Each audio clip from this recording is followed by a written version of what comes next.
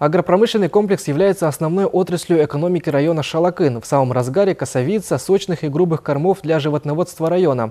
В селе Жанаталап сенокос идет хорошими темпами. Прогнозы аграриев – скосить в этом году как можно больше, чем в прошлом.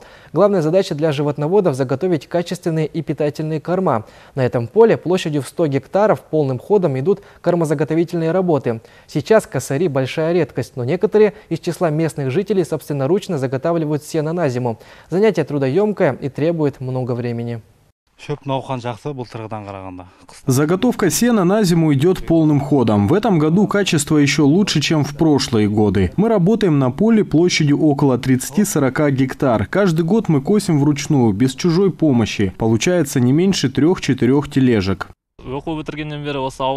После окончания учебы я вернулся в родное село помогать родителям. У нас около 15 крупного рогатого скота. Сейчас заготавливаем сено на зиму. Выходит примерно 15 тележек. Также мы продаем для жителей ближних сел.